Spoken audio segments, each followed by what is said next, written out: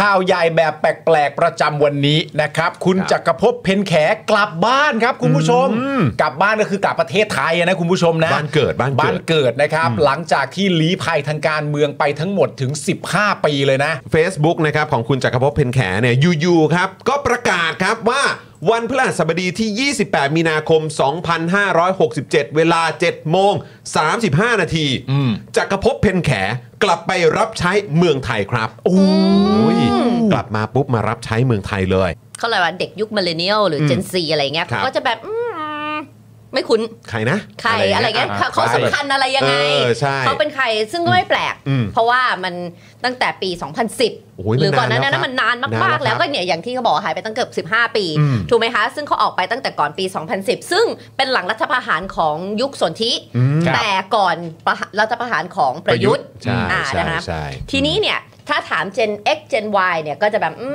มเราก็จะคุ้นหน้าคุ้นตา เพราะเมื่อก่อนเนี่ยเขาก่อนที่เขาจะเป็นนักการเมืองเนี่ยเขาก็เป็นสื่อมาก่อนอ่าใช่ใช่ใช่เป็นนักวิเคราะห์เออใช่เป็นนักวิเคราะห์ใช่ใช่ข่าวต่าง ๆ แล้วก็เป็นนักพูดที่ครัมีบชื่อเสียงอืมพูดเก่งใช่เอออมฉะนั้นแล้วเนี่ยเราก็จะรู้จักกัน ใช่และทีนี้เนี่ยคุณจักรภพร่างสองเนี่ยนะครับผมก็อย่างที่บอกไปก็ได้ผันตัวอะไรนะเอาก็ร่างสองไงร่างสองเออก็เออร่างแรกก็เป็นนักข่าวอ่าร่างแรกร่างแรกเป็นเป็นสื่สื่ออเป็นสื่อโอเคโอเคเป็นอะไรก็ว่ากันไป แต่ว่าอะเข้าใจกันได้ง่ายไงอธิบายก็คือคุณจักรภพร่างสองเนี่ยก็ได้ผันตัวมาเป็นนักการเมืองนะครับผมในรัฐบาลของคนที่คุณผู้ชมก็น่าจะรู้จักกันดีก็คือคุณทักษิณชินวัตรนั่นเอง you know who ยูโนฮูครับผม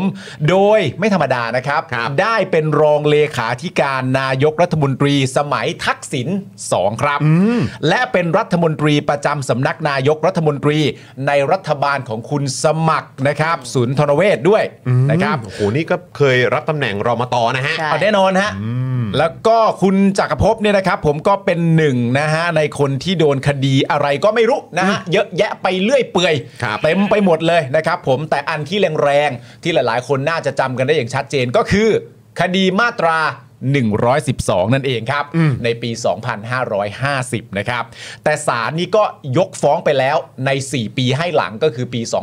2554 นะครับครับ อย่างไรก็ตามครับ คุณจักรภพเนี่ยก็ยังคงตัดสินใจที่จะออกจากประเทศไทยไปในปี 2552 นะครับผม ผมมาอยู่ในต่างประเทศเกือบ 15 ปีเนี่ย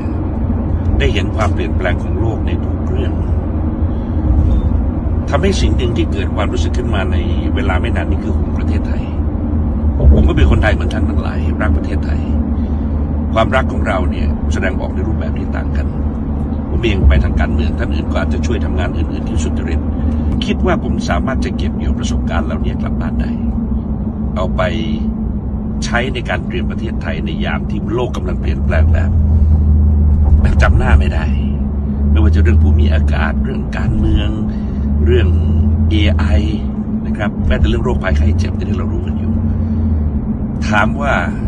แล้วความคิดต่างๆที่เคยมีในอดีตที่ทำให้เกิดความขัดแย้งเนี่ยผมจะว่ายังไง ผมก็ต้องตอบอย่างนี้ครับว่า คนเราทุกคนเนี่ย มันได้คิดหลังจากเวลาผ่านไปชั่วระยะหนึ่งสิบกว่าปีนี้ทำให้ผมได้คิดว่า เราคนไทยจะมาขัดแย้งกันทำไมในเมื่อโลกกำลังผันผวนเปลี่ยนแปลงประเทศไทยควรจะยิ่งรวมกันเป็นหนึ่งเดียวามหลากหลายทางความคิดเป็นเรื่องดี ไม่น่าจะเป็นเหตุให้ต้องทะเลาะกัน ผมก็เลยเอาตัวเองนี่แหละครับ เป็นตัวเริ่มต้น ไม่ไปบอกให้ใครทำละในเมื่อเราคิดเราก็ทำเองก่อน ผมถึงเดินทางกลับประเทศไทยวันนี้ ไม่ใช่ว่าจะไปเดินปลอที่ไหนสบายนะครับ กลับไปเข้าสู่กระบวนการยุติธรรมส่วนเรื่องสิ่งที่เคยพูดไว้ สิ่งที่เคยเขียนไว้ สิ่งที่เคยแสดงออกไว้ ผมไปเปลี่ยนแปลงไม่ได้ ผมเพียงแต่เรียนท่านว่า ผมได้คิดอะไรใหม่ขึ้นเยอะจังนั้น และขอให้ให้โอกาสผมสักนิดนะครับว่า ความคิดใหม่ตรงนี้มันจะช่วยได้อยังไงบ้างสำหรับประเทศชาติ ผมขออนุญาตกลับบ้าน ผมผมอยู่นอกพอแล้วครับแต่กลับบ้าน เดี๋ยวพบกันครับ แต่ว่าคือพอเราฟังดูแล้วเนี่ย ก็แม้ว่าจะเปลี่ยนคนเปลี่ยนมุม นะครับเปลี่ยน